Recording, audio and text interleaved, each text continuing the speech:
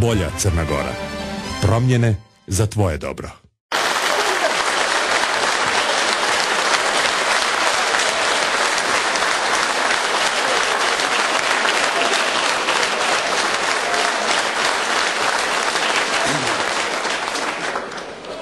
Dragi prijatelji, pre svega ne zamerite mi zbog glasa. Temperatura i prehlada glas mi je na ivici. Dragi prijatelji, u svojoj čudesnoj multimilenijumskoj istoriji Crna Gora imala je bezbroj iskustava. Samo nije imala iskustvo demokratske smene vlasti. A bez demokratske smene vlasti nema slobode i napretka. Bez demokratske smene vlast postaje apsolutna, korumpirana i despotska. Podanici neslobodni, zavisni i poniženi. Ili kako je to još pre dva veka formulisao Lord Acton. Svaka vlast kvari. Mala malo, srednja srednje, apsolutna apsolutno.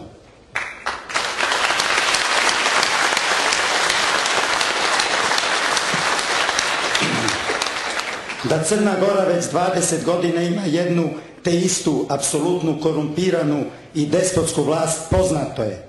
Ali od skoro Crna Gora ima jednu bolju demokratsku alternativu. Građansku, multietničku, bolju Crnu Goru.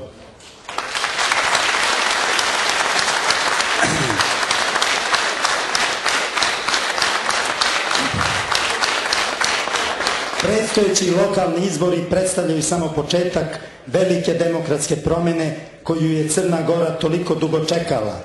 Počastovan sam što mi se evo pružila prilika da u tom početku i neposredno učestvujem. Građani Crne Gore i Podgorice, učestvujte u sobstvenoj istoriji, stvarajte bolju budućnost, udahnite duboko, izaberite, budite slobodni ljudi, a ne robovi. Glasajte za bolju Crnu Goru. Živeli!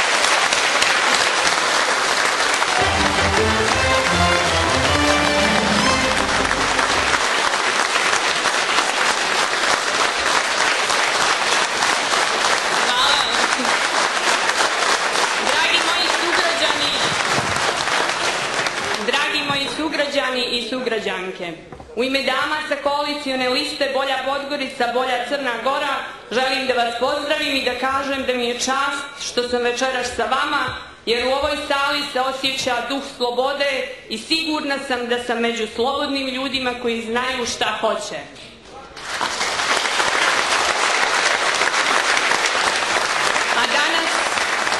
A danas je, nažalost, u Crnoj Gori najteže biti slobodan. Često me pitaju šta će ti politika i sukobljavanje sa ovim kriminalcima, pa ti si dama ne priličiti. U tim pitanjima osjećam zabrinutost, čak strah, da meni koja sam odlučila da uđem u politiku, oni ne učine nešto, da me ne spriječe u nečem, da mi ne oduzmu pravo na nešto. Shvatam, mnogi smatraju da žrtva za istinu i spremnost da se ona izgovori bez obzira na cijenu nema nikakvog smisla. Misle da istinom kod nas ništa ne može se promijeniti, da narod voli da sluša šarene laže koje nam režim ovih dana plasira u nepristojnim količinama.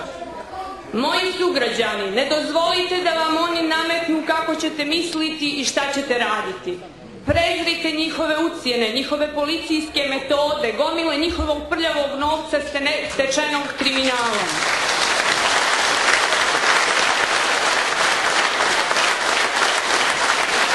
Nije, nije u ćutanju sigurnost. Najgori su zadovoljni robovi i teško društvu u kojem da bi se govorila istina treba biti hrabar. Dobroveče, prijatelji Bolje Podgorice. Ja ću svoje obraćanje vama početi jednom kratkom pričom iz prošlog mandata o ovom mjestu na kome se danas svečano nalazimo. Ovdje su odbornici opozicije prepoznali potrebu zastupajući građane Podgorice da se moramo objediniti da bi Podgoricu napravili boljom.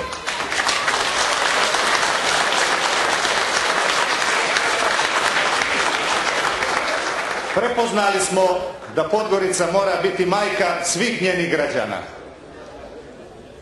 To sjeme je rodilo slogu i vjeru. Da Podgorica mora biti bolja da bi bila evropska. Da Podgorica može brže i jeftinije da se izgrađuje. Da Podgorica ima svijest i savjest. Da se odupre kabadakijama.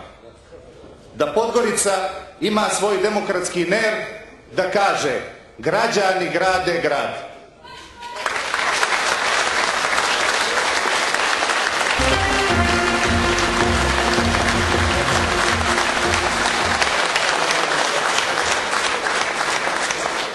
Mnogo mi je manje važno što ću da budem predsjednik Skupštine glavnog grada od onoga što ste mi vi večeras napravili. Učinili ste me srećnim.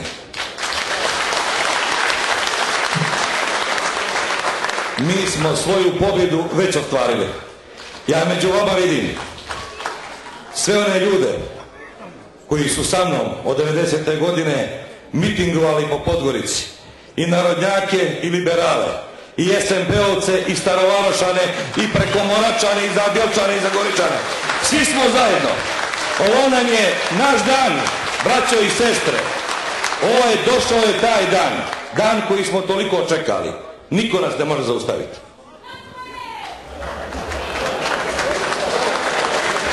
I Dari je došao njen dan.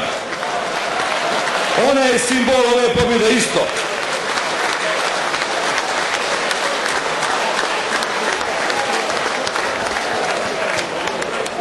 Znate što je najveći problem ovog režima?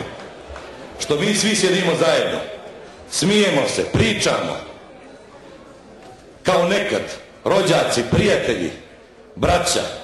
Nema onih svađa, onog stavljanja prsti u oči najbližima.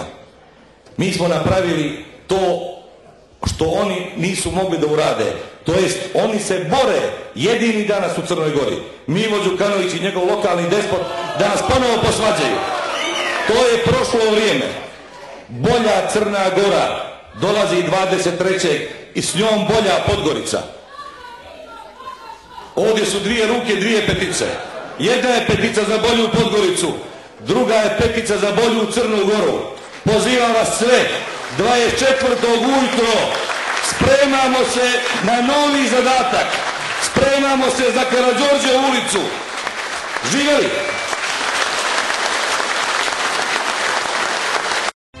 Bolja Crna Gora. Promjene za tvoje dobro.